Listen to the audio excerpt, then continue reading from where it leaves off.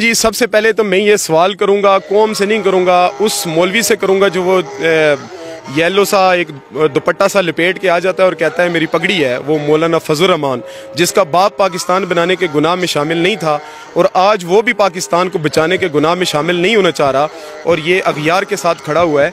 मैं उस मौलाना फजल रहमान से पूछता हूँ कि तुम मुझे ये बताओ कि सजदा खालिक को भी और इबलीस से याराना भी ये बता, मैशर में किससे अकीदत की जजा मांगेगा? तू आज मुझे मौला फजरवान तुम बताओ कि तुम तो कहते थे यहूदी एजेंट इमरान खान है। तुम इमरान खान को कहते थे कि इसने को इसराइल ने लॉन्च किया है। लेकिन हमारे कायद इमरान खान ने पूरी उम्मत मुसलमान का सर फखर से बुलंद किया।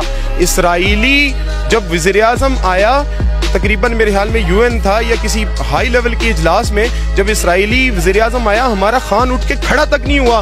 उसने अपने एक्शन से ये साबित किया कि मैं मोमिन हूँ और मैं तुम्हारी इस पूरी दुनिया में जो तुमने अपने पंजे गाड़े हुए मैं इससे मुतासर नहीं हूँ। उसने तो अपने एक्शन से साबित किया, उसके सामने खड़े हो गए कि we will fight for law मुझे आज ये बताओ, तुम्हारी वजह से, तुम्हारे दहशत गर्दों की वजह से जो आए दिन इस्लामाबाद पे चढ़ दौड़ते थे, उसकी वजह से उन मुदारिस के लड़कों की वजह से जिनको तुम इस्तेमाल इस्तेमाल करके बेचारों को पता ही नहीं है कि वो कहाँ इस्तेमाल हो रहे हैं। उनको इस्तेमाल करके तुमने इस इम्पोर्टेड हुकूमत को पाकिस्तान के ऊपर मुसलत किया।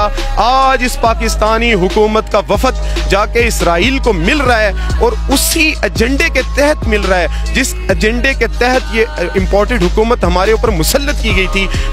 मेरा सवाल तुम्हें है कि अगर तुम वाकई में अल्लाह पाक को मानने वाले हो तो फिर कल पार्लियामेंट की इस इजलास में खड़े हो गए इस इस हुकूमत से अल्लाह बगावत करो। और फिर मैदान में निकला और कौम में इमरान खान के साथ हूँ। इसराइल को साढ़े तीन साल इमरान खान ने नहीं एक्सेप्ट किया। अभी साढ़े तीन माह भी नहीं हुए। अभी एक दो माह का अरसा नहीं गुजरा। ये अपने नाजायज बाप के पास पहुँच गए।